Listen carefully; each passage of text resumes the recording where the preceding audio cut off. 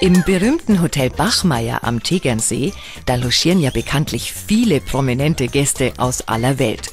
Extrawünsche sind da an der Tagesordnung. Doch einen Staatsgast mit echtem Kamel hat man bisher auch dort nicht empfangen.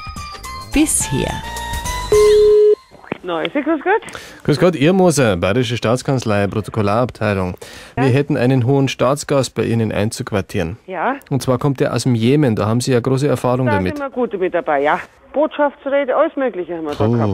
Oh, okay, das ist der Scheich Ahmed Al-Haga Isen bin Omar. Aha, Also Ahmed Al-Haga, Ja, Isen bin Omar.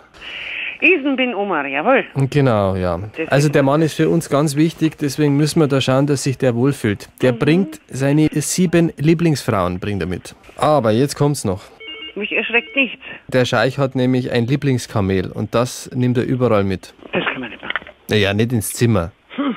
Ist für uns ist wichtig, dass der kommt. Und dieses, dieses, äh, äh, Ich sage Ihnen einmal, äh, das Kamel heißt Sierra Chicana. Mhm. Das heißt so viel, glaube ich, wie Wüstenwind und das ist sein Lieblingskamel. Mhm. Also da, da, da eher nur auf seine Lieblingsfrauen verzichten, habe ich gehört. und dieses Kamel müssen wir irgendwo unterstellen. Tiefgarage oder sowas, dass wir da, Hammer. ja, dass wir da was freiräumen. Das können wir machen. Dann stellen wir es da irgendwo dazwischen. Ich glaube, das hat schon ganz woanders dazwischen gestanden, soweit ich mich erkundigt habe. Gut. Was braucht denn ein Kamel bitte für einen Lebensraum? Also 10 Quadratmeter oder sowas? Ja, so wie ein Pferd in etwa. Ja. Also vom, vom Wie so Fressen eine her auch. Ja. Ja, genau so ähnlich. Ich habe mir sagen lassen, also das ähm, Kamel, das frisst auch Feigen, Datteln und Äpfel neben Stroh, Mhm. dass wir da vielleicht so ein paar Schalen bereitstellen. Also es soll schon dekorativ, soll schon ein bisschen was hermachen.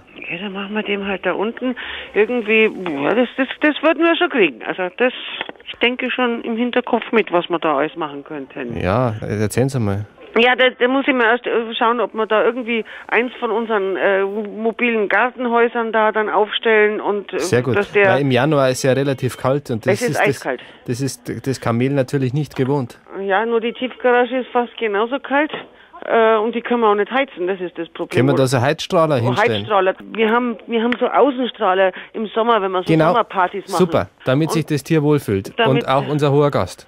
Richtig, Sie haben doch in der Tiefgarage bestimmt wie so Nummernschilder. richtig, Genau. Kann man da eins drucken lassen für das Kamel? natürlich. Der kriegt- das der war ja kriegt- super. Der, der kriegt der Ecker, da können wir da unten schon so ein bisschen ein Heckmeck machen und, Super. und ein paar falsche Bäume aufstellen und Ganz, äh, Stroh, Palmen war gut. Genau. Und ein bisschen Sand. Ah, da fühlt sich das Kamel wohl. Palmen, Sand, Beleuchtung und Beheizung. So. Jetzt darf ich einmal bitte Ihre Nummer haben. Die Nummer vom Bayerischen Rundfunk vom Spaßtelefon. Ah ja. ist in Ordnung. Wer hat mich denn da reingeschickt? Ich habe nämlich neulich schon mal Kennen Sie einen Klaus Rest?